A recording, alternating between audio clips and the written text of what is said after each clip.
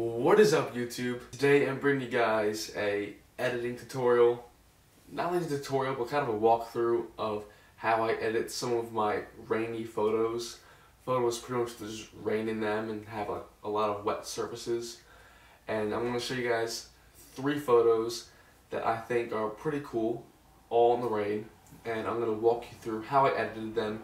I'm not going to edit new ones, I'm just going to walk you through, through the process of how I edited them all my settings for all of them and all of that. Pretty simple. That's pretty much it for this video. Let's get straight into this.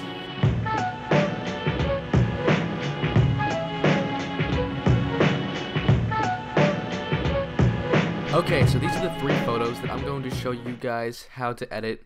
These photos were all taken in the rain, obviously, since these were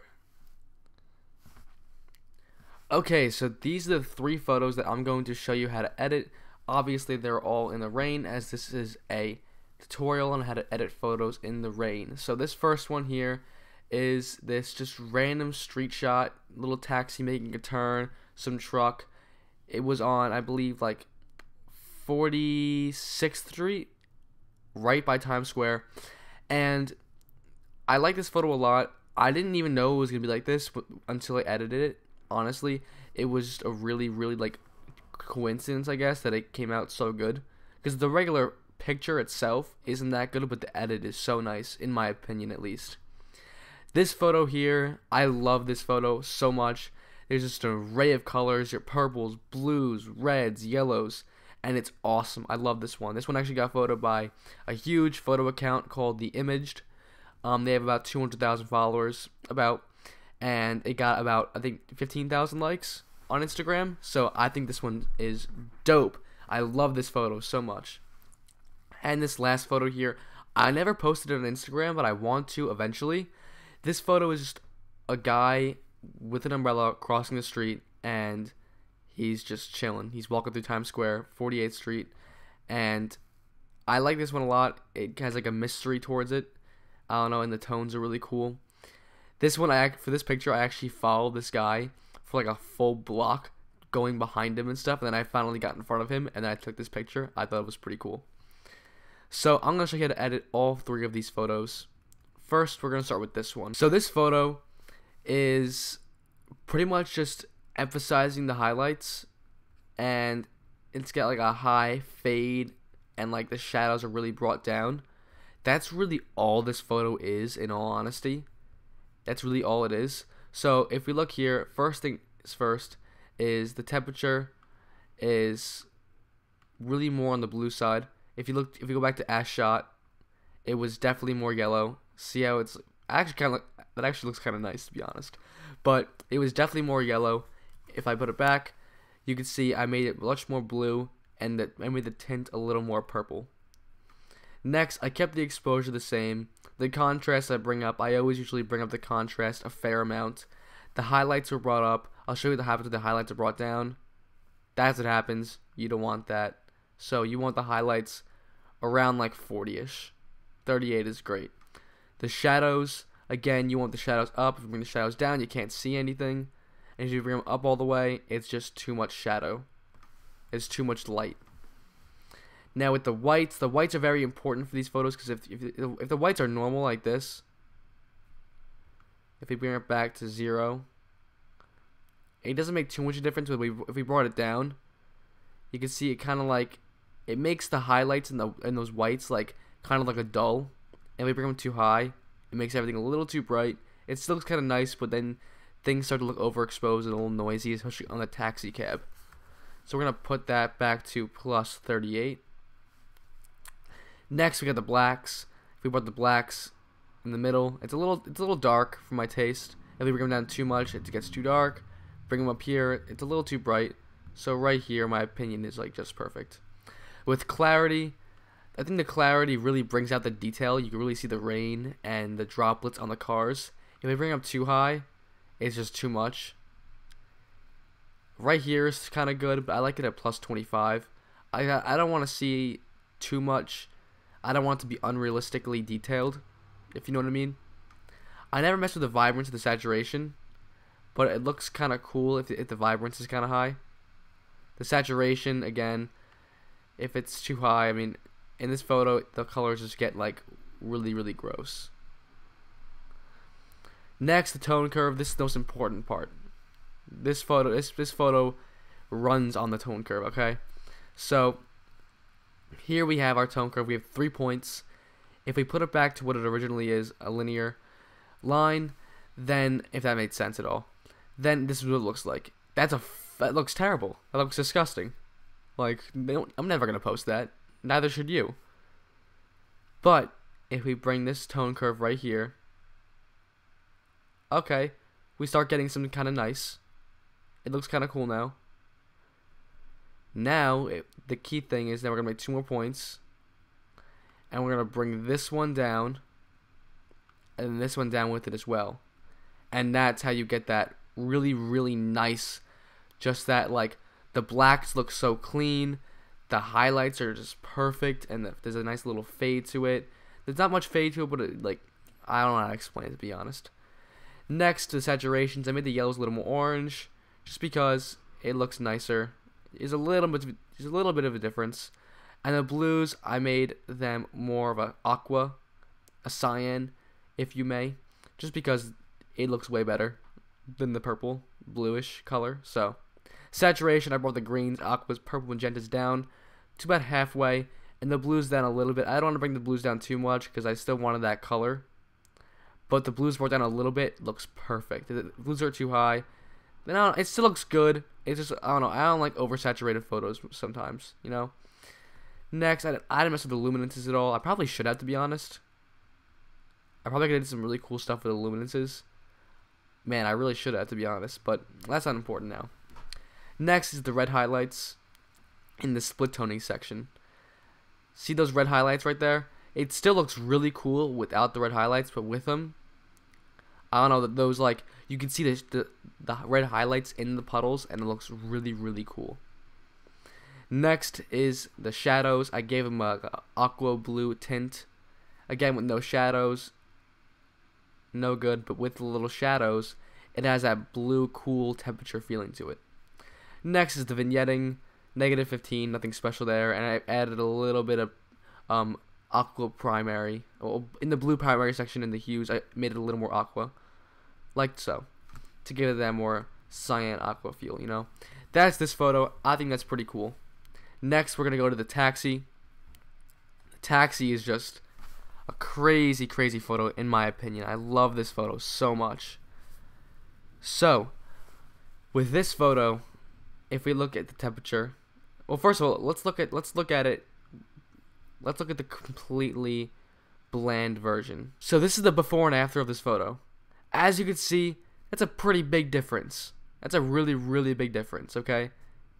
So, to do that, it, it really isn't that hard to get that look. Again, I really didn't do too much editing in this photo. If you if we go through it, I really did not do much editing at all whatsoever. So if we look at the um the temperature and the tint, all I did was make the yellows more blue. Just like so. Next, I added some contrast. Without the contrast, it looks a little uh, dullish. But with the contrast, you get that really you get those highlights to pop out on the car and in the street, and it looks dope. Highlights all the way up. Without the highlights, it still kind of looks cool, but like with them, I just love it. Shadows again, you're gonna get with, with the shadows. Whites all the way up, blacks all the way up. It's giving you that it's giving you that freedom to mess with the tone curve when all these things are up. Again, clarity. I decided not to put clarity in this one because it added too much highlights and it emphasized the saturation too much. So the saturation, again, I put it down because with it high, look at that. That's gross. That's way too much color. So I put it like right there, and it just gives it that super cool feeling. I don't know how to describe it. It's just like, ah, I, I love it so much. And again, with the tone curve, it's almost the same thing as the last one, except the last one, it was more like this. But with this one, it's higher to put color and the high. It it gives the highlights more like, it makes the highlights brighter and it gives more color to the highlights. Next, I made the yellows more orange, the blues more cyan, just like the last photo. I desaturated the reds because there was a little too much red in this photo, and I wanted to bring it down. Next, highlights and shadows are both red, just a little bit. If we take out take off that, it's a little more cool temperature, but with the reds, it's a little bit more. And and then with the shadows, I bring it down again, a little more cool. I wanted that warm feeling, and it's not much of a difference, but you can still tell when you actually take it away.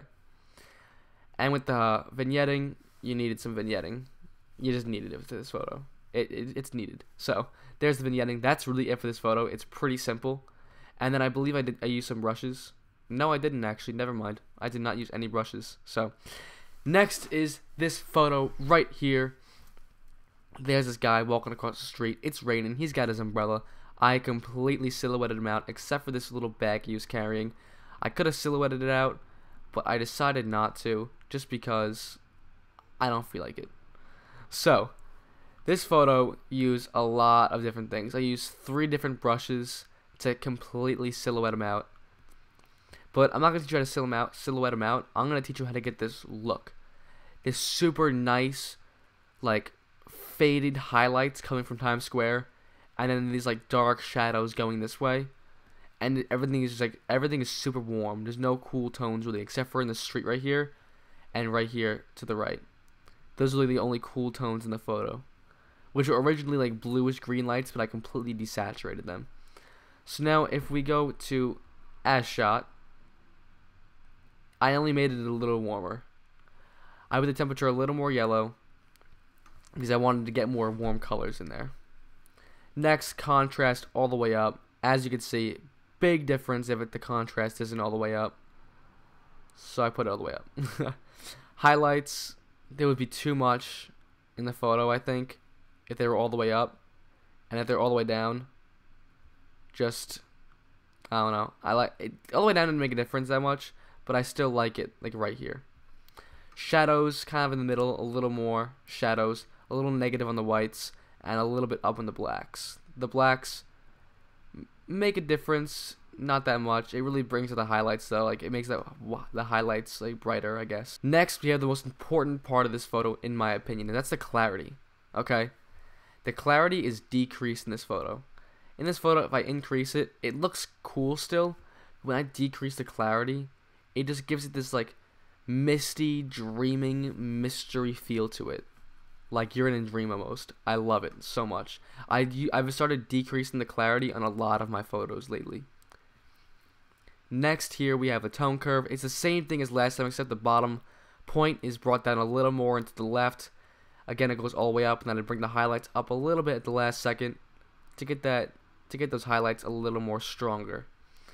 Next hues, yellows are all the way up, oranges are all the way to the red, kind of. So, I, I didn't want to see any orange or yellows in here, just because the red looks super nice. Blue's a little more cyan. As you can see, the street changes a little bit if I change it. You can go either way. It doesn't really matter. Saturation, everything is down super, super low, except for your oranges and your yellows. That's because if we reset the saturations here, look how gross this looks. Look how gross of a picture this is. That's disgusting. That's just disgusting. You do not want that at all. So next we gotta go to luminances, luminances, if I could say the word. Again, nothing really changed, the aqua's a little higher. As you can see, if I decrease that, it gets more blue. If I increase it, it gets more uh, red. Shadows all the way red this time. If I increase it too much, way too much, if I decrease it too much, it still actually looks really cool like this in my opinion. I don't know, I just don't, I'm not a fan of the cool colors that much in, my, in this photo. Next, we have the vignetting. Vignetting is pretty important in my opinion. It just gives that like super good feel in the bottom corners of the photo on the puddles. I like it.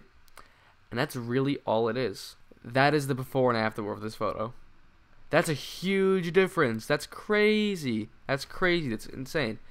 The fact that you can go from this photo here with all these different colors to this photo right here is so cool. That's awesome. Anyway guys, that's been it for the video. I hope you guys enjoyed. If you learned something, let me know in the comments. Hopefully you guys start using this on your photos. I think it's pretty cool. rain photos are a lot of fun. It's fun to mess around with them. Comment and let me know what you guys want to see in the future. I want to post a lot more editing stuff on the days that I don't vlog. So let me know what kind of photos you want to see, portraits, landscape, whatever, whatever it is. I can, I'll show you guys how I edited them for me.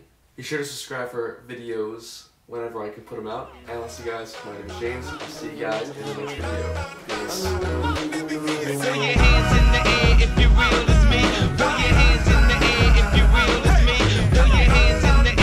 You just met the girl today and now she's holding your A7R. Yeah,